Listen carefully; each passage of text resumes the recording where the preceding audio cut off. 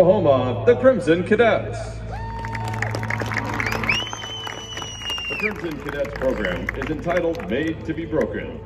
The Bentonville Marching Invitational is proud to present in finals competition Drum Major Sam Sally and the Crimson Cadets.